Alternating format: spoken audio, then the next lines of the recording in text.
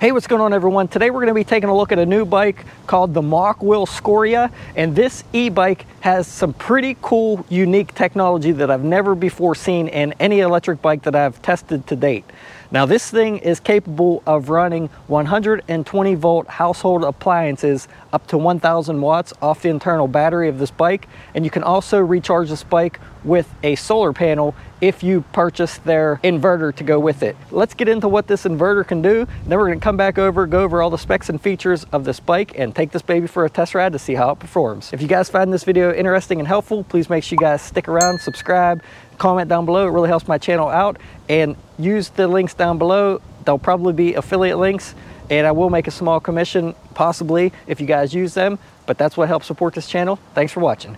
All right, so for this inverter on this bike, it goes in this included bag right here that attaches to the frame. It just twists right on there and right off with that mount in the back. Now it does bounce around a little bit on there. It's just a plastic mount. It would have been nice to see them put a strap on the bottom here so that you could strap the bottom around there. Maybe they can add that in the future. But in here, is where the inverter's housed. And this is a really tight fit in here, guys. But here's the 1000 watt inverter. And then there's a cable in here that attaches from this to the bike. And what you can do is you could plug a solar panel input into this here. And you could charge your bike off of it. And you could also run 120 volt AC off of there. So let me show you here how this works. Plug one end of the cord into the back of the inverter here, and it only goes in one way. Here we go. Then we'll plug the other end of the cord into the bike here. And you can also connect this cable directly to the battery if you have the battery out of the bike because there's one of these connectors on the battery as well, which is pretty nice. You could take this and the battery with you, take it in your home, power a sump pump if your power goes out, possibly a refrigerator, depending on the amperage draw of it and certain things like that recharge cell phones and stuff if your power goes out. So pretty nice feature in my opinion. And you can actually see that the battery level is currently at 50 volts. Now this isn't very very bright. Um, there's four battery bars there out of five and it's at 50 volts so pretty cool there. Not super bright on the display. Would have been nice to see a little bit brighter. Gonna hold down the AC button here to power the AC and you can see 110 volts, zero watts currently. We're gonna go ahead and plug something into it real quick. I have a watt meter here we'll plug in, 109.6 volts. Gonna plug a light in here. And you can see I'm powering that light up. You can see if I shut the light off, turn the light back on, and let's see how many watts it shows. 44.8 watts and it's showing 52 watts output on here so pretty close. This is probably taking some wattage to use and so is this thing here so pretty close within a few watts there. Here this will really put it to the test. It's supposed to power up to a thousand watts. Let's take let's shut this light off for a second. We'll try it on low first. 226 watts. 213 215 on here. Bump it up to medium 391, 370, 380.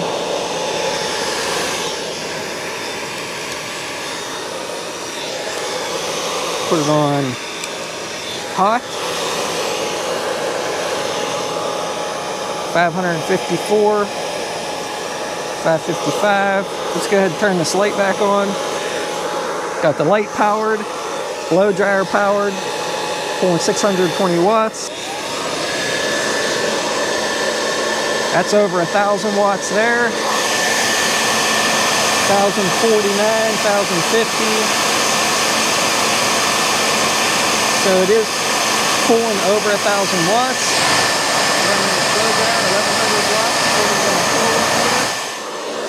But I'm gonna go ahead and shut that down. You can hear the fan kick on. There's a fan in here that turns on, still using 55 watts because I still got the light being powered. But really good, guys. According to this test here, this is actually the first time I've had it under a decent load. And it ran this at 1100 watts, no problem. Now I shut it off, I didn't wait for anything to go. It's only rated up to 1000 watts, so I didn't want to push it too much, but you could see it ran 1100 watts easily there for, what was it, maybe like 15, 20 seconds. There, the fan just shut off on here. So pretty cool little inverter in my opinion. One thing I want to mention is I don't think that this is a pure sine wave inverter. It's probably a modified sine wave, so you might want to watch some of your more expensive electronics. It really didn't mention about that, I don't think. Um, might be something you guys might want to look into, but for powering certain things, hair dryers, lights, uh, maybe a refrigerator, sump pump, things like that, I wouldn't have uh, no concerns with running it off of this at all. There's also a 100 watt USB-C output on the front and a 27 watt USB-C output and then a 10 amp 12 volt I believe that's a 5521 port there. Then you have your solar input there. We're to go ahead and plug the solar panel in. Now today is really a bad day to be doing this test with a solar panel because it is uh, really shady out today so it is charging, just not a lot right now because, I mean, it is a super cloudy day. The sun's not even out. Uh, this is really normal for a solar generator to even charge at this, but it's only getting 8 watts right now. Not going to be able to charge it on a cloudy day like today, obviously. I'm going to have to try this test again in the future when it's bright and sunny. All right, guys, so it's a bright sunny day out here today. I wanted to try this again in the sun to see if I could get any solar input into this battery through this inverter. I've tried two different solar panels. That one has a 23 volt output. That one has a 30 volt output. This is capable of 18 to 54.6 volts of input. And none of the panels I have will recharge this battery. I don't know what's going on. I think there's something wrong with this inverter, but it will not accept a solar charge input, which is a huge flaw in my opinion. Maybe there's just a defect with it. This kind of defeats the whole purpose of having an inverter. Yes, you can still run 120 volt appliances and things off of your battery, but if you're out in the middle of nowhere, you can't recharge your battery from solar. Big flaw. Maybe they could send me another one and I could test it again, but as of now, it is not working to recharge the bike from solar. Let's get back to the video. Now, this is, in my opinion, a little bit expensive for what it is, just for this alone, for $400 because there's no built-in battery. But like I said, that is pretty cool that you compare it with your battery and run things off of it. So pretty nice feature to have. So let's get back over there, check out the other specs and features and take this baby for a ride. So up here on the handlebars, you have a nice double locking set of grips that are really ergonomic. Next to that, you have the control pad for turning the bike on, turning your headlight on, and going through all the different pedal assist levels. Now, one thing I want to mention here about this pad. The up and down are between the on and off button and the headlight button. And if you wear thick gloves, sometimes it's really hard to hit the up and down button without hitting the other buttons. Now the off button does not shut the bike off if you just hit it once, so that's nice. You do have to hold it, but it's still kind of cumbersome sometimes to get your hand on the up and down arrow because typically most bikes, the up and downs at the top and bottom, and it's really easy. This one you kind of got to be in between, so just something to think about. In the center here, you have a nice color display.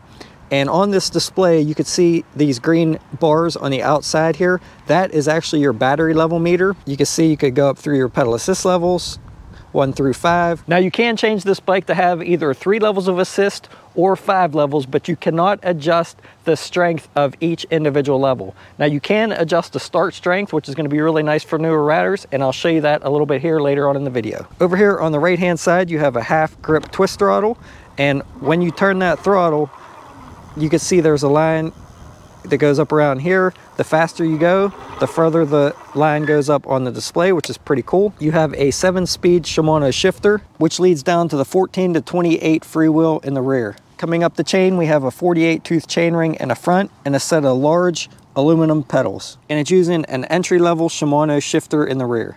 The rear rack on this bike has a really nice wooden inlay and it actually has a mount here where you can get an extended rack for cargo carrying capacity that comes back even further if you guys like to carry a lot of gear with you. For stopping power, this bike's using a set of Tektro hydraulic disc brakes coming down to a pair of 180 millimeter rotors on both the front and the rear of the bike. And they also have a mount up front where you can attach their optional basket. For safety, this bike has a dual beam headlight in the front and a tail light in the rear that's actually a brake light whenever you pull the brake lever. It's sitting on a pair of 20 by 4 inch Kenda tires and what's really nice is that it has the white reflective strip around it so people can see you a little bit easier at night. I love when tires have that reflective strip on them. It's also sitting on mag rims, which is gonna be really nice. You don't have to adjust spokes. Another cool feature about this bike is that it comes with a pair of BMX style handlebars, which is really nice, able to adjust them forward or back for a longer reach if you're a taller rider or you can adjust them back if you're a shorter rider. I do have them adjusted back pretty far right now, and you guys can see that when I do the rad test. Down below, this is another unique feature that they give you a double kickstand to put the bike on. Most bikes come with a single kickstand mounted back here, and they do give you a mounting point for one back here if you do want to change it. Pretty cool that they give you a center kickstand. That's going to be nice if you have a lot of weight on the back. You don't have to worry about the bike tipping over this way because it would hold the weight nice. Now you do have to worry about if you're in a grassy area because it doesn't sit up super high and you got to kind of be on a level spot to use that kickstand.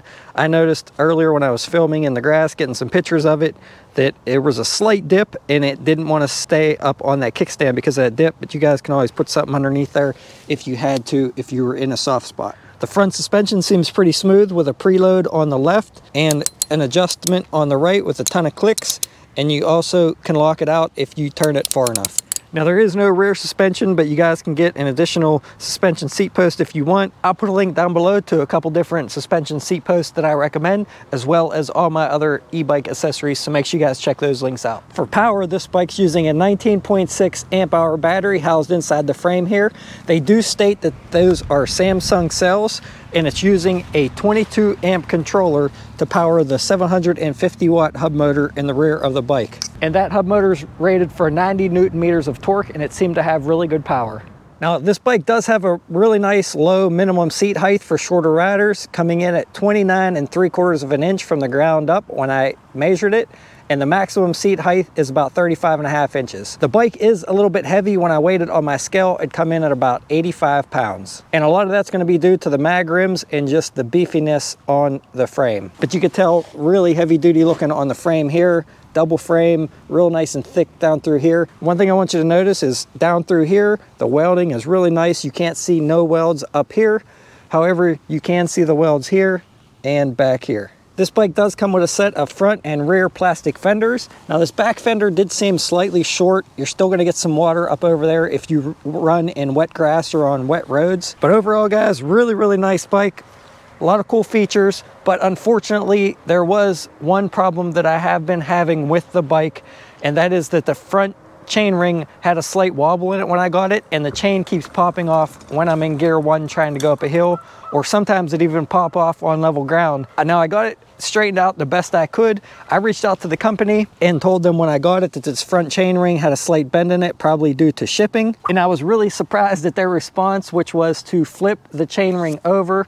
You can do that with this style chain ring. So I flipped it over, it didn't make a difference. So I flipped it back over, to the original way that it's supposed to go on and tried to unbend it the best I could while I had it off. I got most of the bend out of it, but it still seems to pop off the front chain ring. And when that happens, the chain goes down between the chain guard here and gets stuck in there. You can see I got it pretty straight.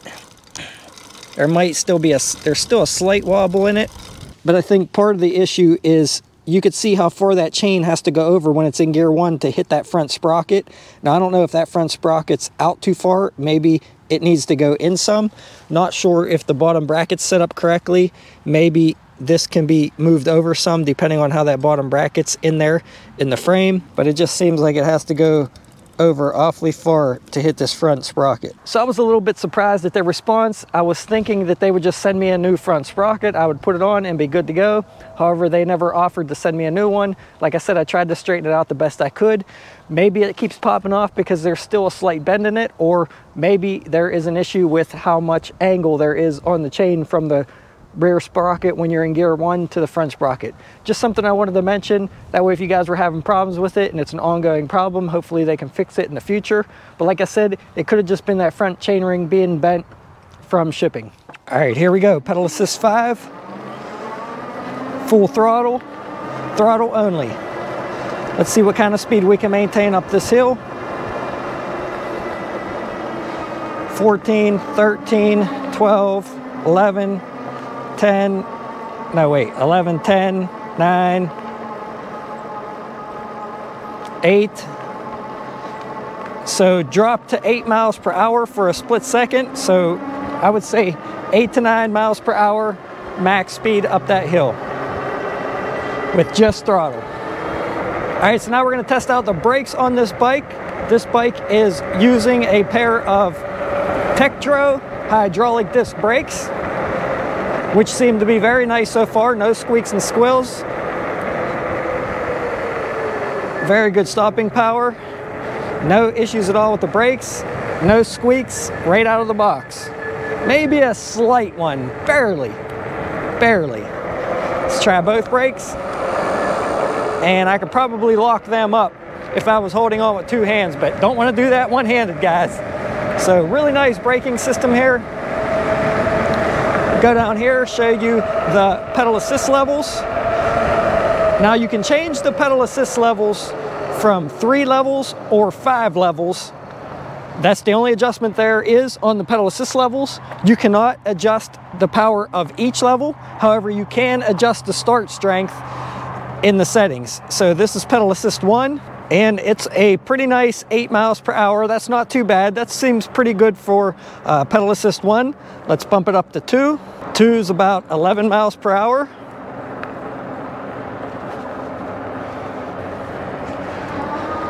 Bump it up to three.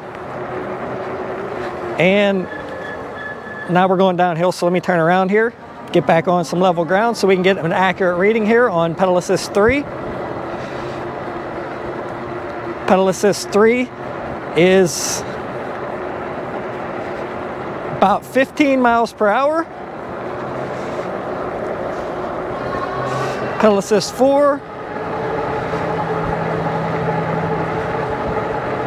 about 18 miles per hour. And I do have this bumped up to the max speed. I think I have it set at like 61 miles per hour. Obviously, it's not going to go that fast, but I do have it unlocked to a class 3 so that we can see the full potential of this bike. Make sure you guys check your local laws and restrictions. If you unlock yours, this is pedal assist 5. I'm not putting any pressure on the pedals, just rotating them and getting up to about 24 miles per hour, 25. Now I'm going downhill. So I would say 24 to 25 miles per hour with pedal assist 5. Now let's try just throttle. And this is going to be a just throttle test. 20, 21, 22, 23, 24. So it's going to be about the same with throttle, about 24 to 25 miles per hour max speed.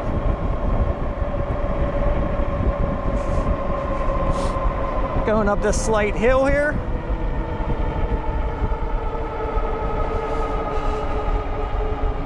Still only on throttle, has some pretty good power. Pulled me right up this hill, no problem. 15 miles an hour. 17, 18, and I'll show you the cadence here. Now this is where it's going to get a little bit hard to pedal at high speeds because of the uh, gearing on it. It has a 48 tooth chainring in the front and a 14 to 28 freewheel in the rear. I wish e-bikes would always start using an 11 tooth freewheel in the back for higher speeds, but most of these bikes are geared towards the legal limit, which is 20 miles per hour. And I believe that's why most of them use the 14 to 28 freewheel. Unfortunately, I would have liked to have seen an 11 tooth one just in case you guys do unlock it for off-road use. And it just makes it a nicer pedaling experience overall. But pretty nice bike in my opinion, guys, so far. Seems to have really good power. Now this bike is rated at 90 newton meters of torque, and it's kind of hard unless I compare it to some other bike side by side, but it does seem to have good power.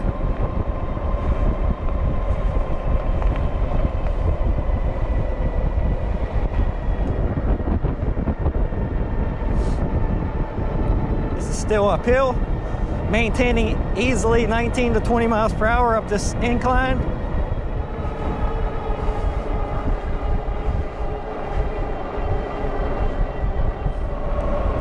This bike does have a cruise control. If you hold your throttle, hold the down button for a few seconds. Seems like a pretty long time. It does activate cruise control.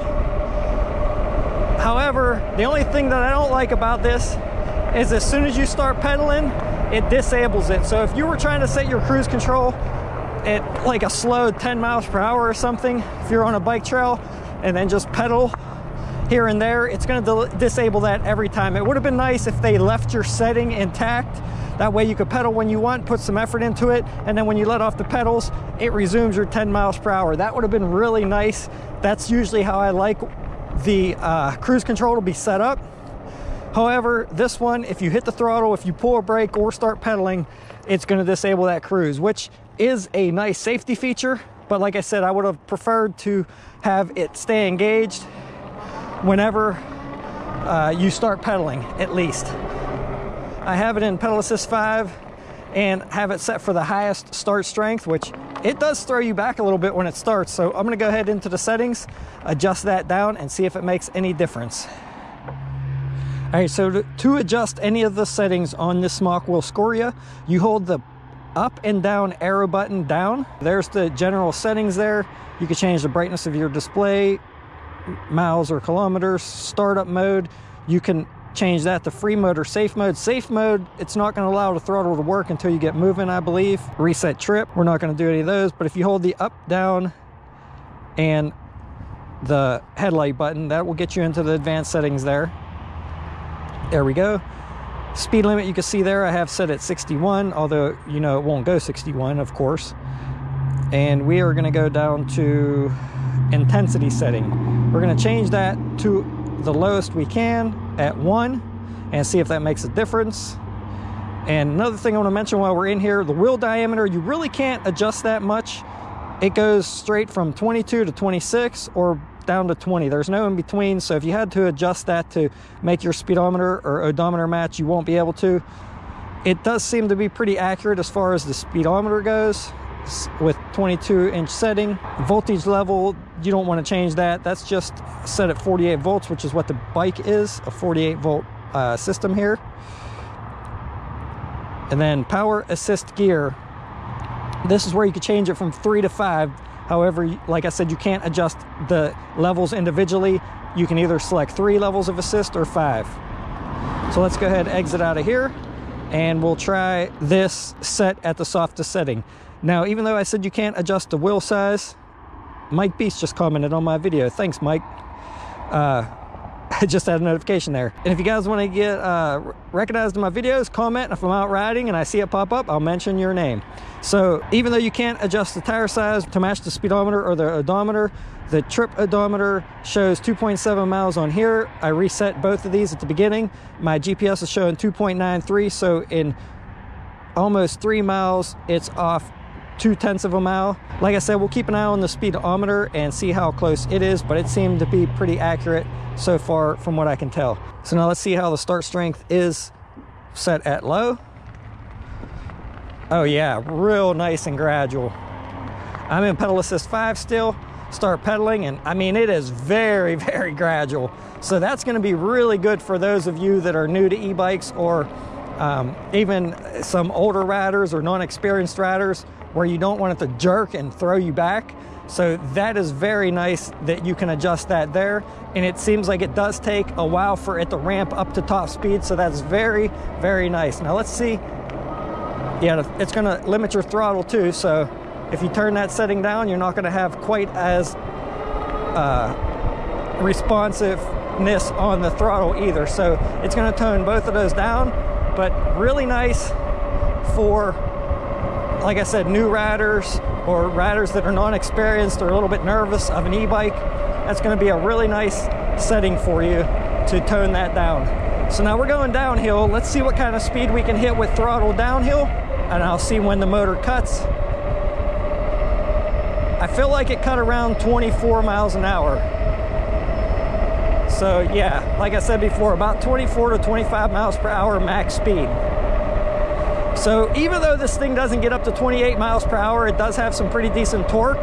So when you're going up those hills, you will maintain a faster speed than you will with a speed uh, bike that will go 28 miles per hour but has less power with uh, like say something with a 500 watt motor because when you hit those hills you're going to be going slow anyway so if you live in a hilly area you may want to consider you know a bike with more torque and more power versus speed because if you hit those hills, you're going to lose a lot of your speed anyway, unless you have a bike with a lot of power. Just something to keep in mind. And this is the first video I'm doing with my 360 camera. This is the 3 Insta360 One X2 or X3. Um, not sure how this footage is going to turn out. Hopefully it turns out good. Let me know down in the comments what you guys think. I held off for a very long time in purchasing a 360 camera because I didn't really liked the uh, quality of the video after it was produced and didn't have the time to edit the video and the extra production time that it goes into a 360 camera but I figured hey I'd give it a shot and see how it goes. I've been wanting one for a long time. So we're gonna go down here go up some hills and see how it does up this hill with the settings turned down to the lowest start strength So let's try it here on this hill. I'm in pedal assist 5. Still picking up speed good, even though it's set to the lowest strength.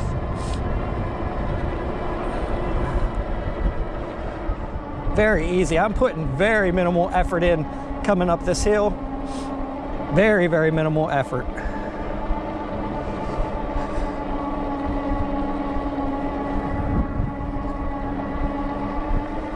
Maintaining 12 miles per hour easily and just throttle will pull me up as well.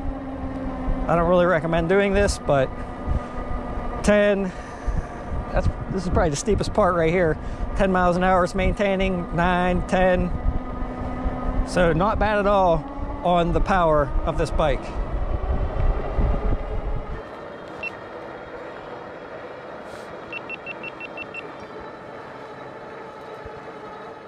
Assist 5 here. And there's about where I feel like I'm out of pedal at 21 miles an hour. If I try to keep up on the pedals, I'm pedaling pretty quick, quicker than I would want to.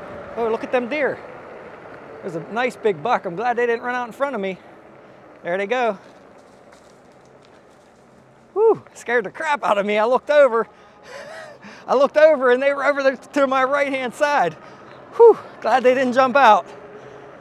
I don't think I would have been able to react quick enough with one hand. Man, them were some nice bucks. Whew. I love seeing wildlife like that when I'm out riding, just not that close to running in front of me.